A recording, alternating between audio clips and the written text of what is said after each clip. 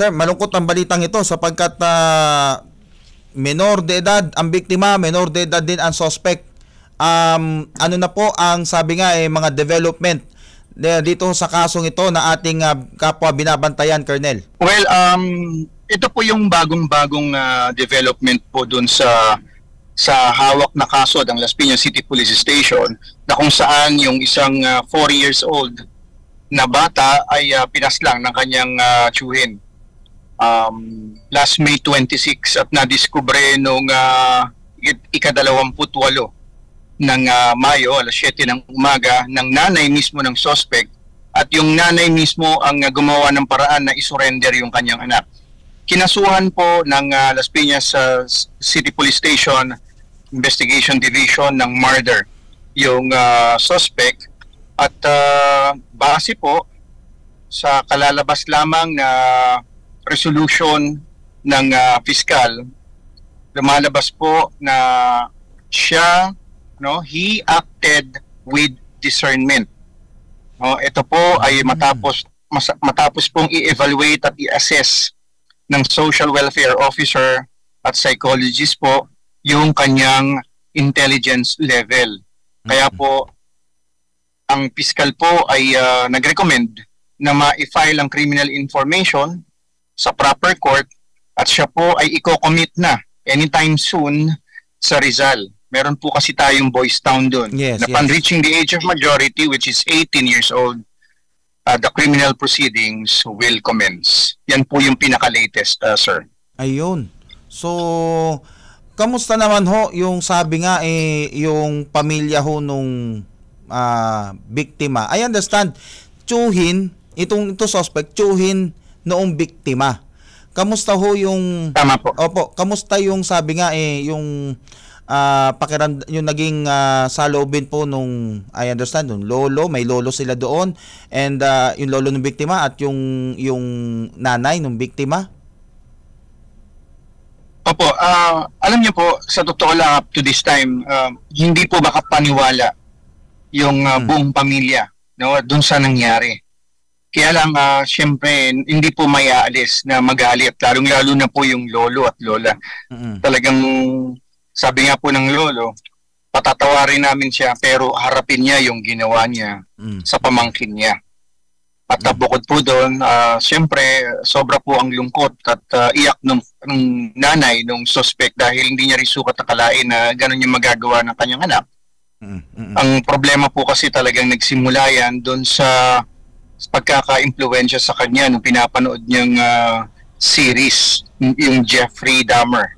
Mm. Yan po ay uh, yan po ay uh, pelikula sa sa ibang bansa, sa Netflix po, pinapanood ng bata na impluwensyahan okay. siya na yung mismong uh, character actor ay pumapatay ng mga ng mga bata at itinatago kung saan saan. Oh my God. Kaya po nung pagkatapos siya pong gawin yung krimen, siya po ay nag-post pa sa Facebook at uh, kami naman po ay nakakuha ng screenshot nito yes, yes. na kung saan inaamin niya yung kanyang nagawa. At ito ay pinadala niya po sa 28 bata na yung 28 bata na yon ay uh, pinadala naman yung iba po pinadala po sa amin yung uh, convo o yung conversation nila Mm-mm. ng kanyang pag-amin na sinabi niya ginawa niya yon pamangkin niya yon at ginawa niya sa bahay nila kaya ho malakas po yung ebidensya namin laban dun sa suspect at uh, patuloy po kaming mag-aantabay at magmo-monitor dito dahil of course naka-monitor po ang uh, punong ehekutibo ng lungsod ng Las Piñas, si Mayor uh, Imelda Aguilar at ang aming uh, uh, aming uh, District Director, Police Brigadier General Kirby Craft at of course, ganun din po ang aming NCRP Original Director, Major General Edgar Alan Okubo po. So kami po ay uh, nagsasubmit mayat maya ng uh, progress report hanggang sa na-inquest at ang pinakahuli po namin sasubmit ay yung after inquest report po namin na prepare as regards the disposition of uh, the assistant uh, senior uh, prosecutor po ng uh, Las Piñas. Para lang po sa kabatiran ng ating mga kababayan, kaano-ano nung suspect yung nanay nung biktima? Kung tsuhin siya nung biktima? Pinsan o kapatid o apa? Ano po? Pinsan po. Bali, ah, tsuhin po sa pinsan. Tsuhin sa pinsan. I see. So talagang, uh, pero sir, nabanggit nyo, no?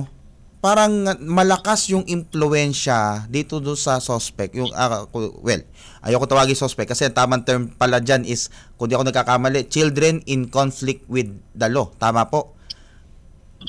Yes, sir. Opo. Yes, sir. So, CICL. Yes, CICL. So itong CICL na ito, eh sabi nga eh malaki ang naging impluensya sa kanya noong ah, pinapanood niyang ah, series no sa telebisyon.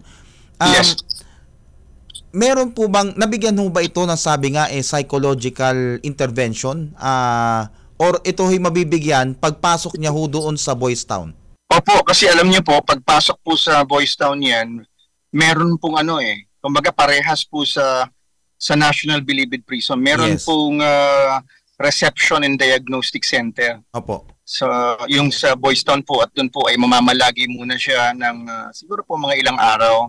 Doon po aalamin niya yung buong pagkatao niya, lahat ng gusto niya, ng ayaw niya, ng pag-uugali niya. Pagkatapos po, meron po siyang ah, makakausap na psychiatrist, psychologist and psychiatrist na mag-assess mag-assess po sa kanya at magkakandak po ng ah, psychological therapy po patungkol po sa sa kanyang ginawa at sa kanyang pagkatao.